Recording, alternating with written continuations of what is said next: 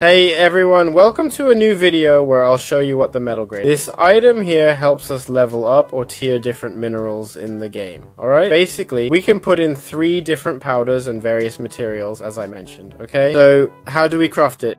It's made with three iron ingots and blaze gold ingots, which are crafted like this, okay? If we have metal compounding, they're crafted this way.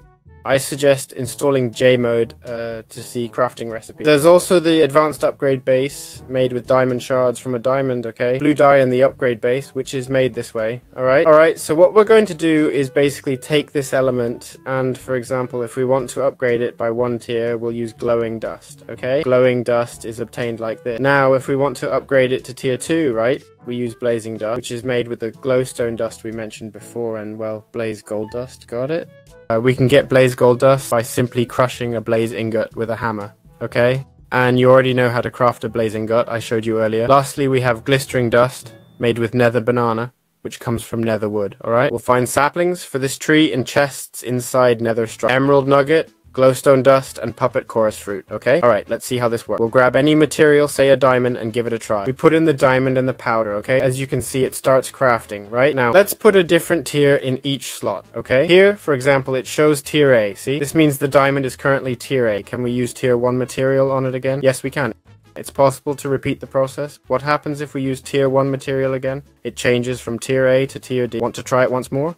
Let's do it again, okay? It should keep improving this way. Over here, we have tier B, right? As you can see, it's much higher, okay? It's a higher tier, but don't get too excited. Still, it's something extra. Can we improve it further?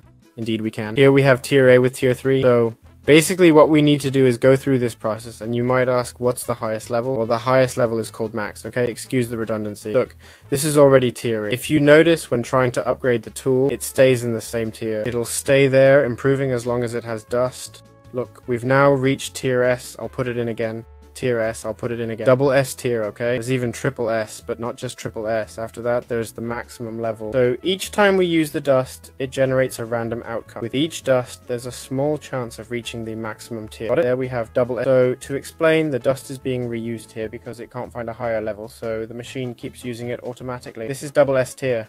If I set this, it'll keep crafting until it finds a triple S. Well, I don't recall when this was, but I think it was triple S too. So we just need to leave it here to craft. We might get the triple S, or we might not. Basically, uh, higher tier diamond allows for better crafting and tools. That's essentially what it's used for. I hope you enjoyed it, and see you in future videos.